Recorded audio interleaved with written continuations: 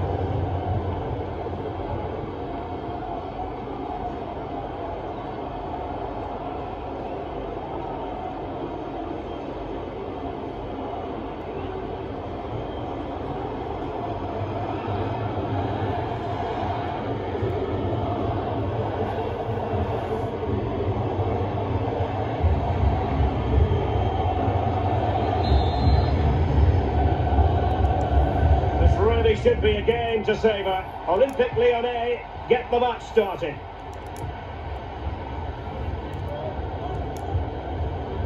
Traore. Now Dembele. And the on the ball. And crossed in there. Not problematic for the keeper.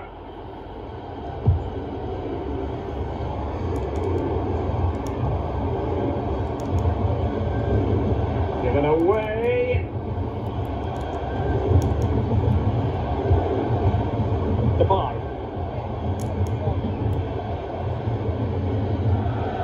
And they'll have to throw it back in play.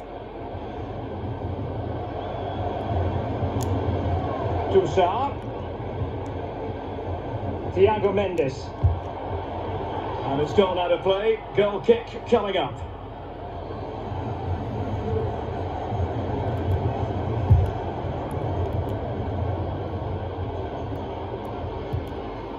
Cristiano Ronaldo.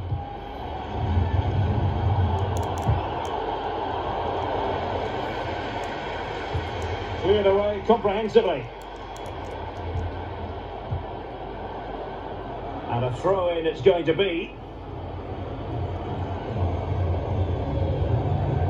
Rabiot. Cristiano Ronaldo.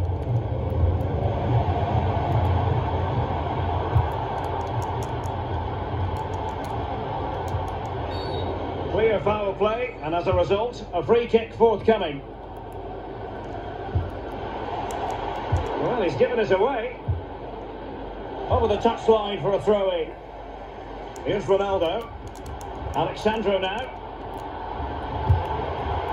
Mario Mandzukic! And the goalkeeper, as you would expect, once again doing his job. Yeah, that's it. His job. Get behind the ball and save it. Emre Can now.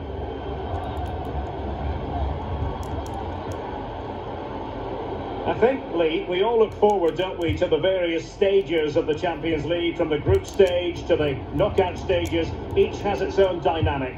Well, it does. I certainly get a little bit more excited when the knockout stages start, I must admit. But the uh, the group stage is an introduction to everybody, to all the teams that are in the competition. I think that's vital. You get to know the players, the teams, how they play.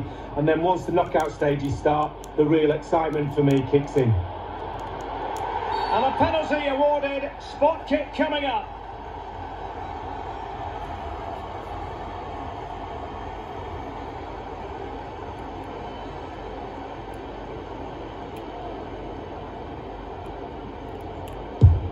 And disappointingly, he got completely underneath that. Well, here's a coaching tip. Long range shot, lean back equals over the bar. I always listen to your coaching tips, Lee. Fabio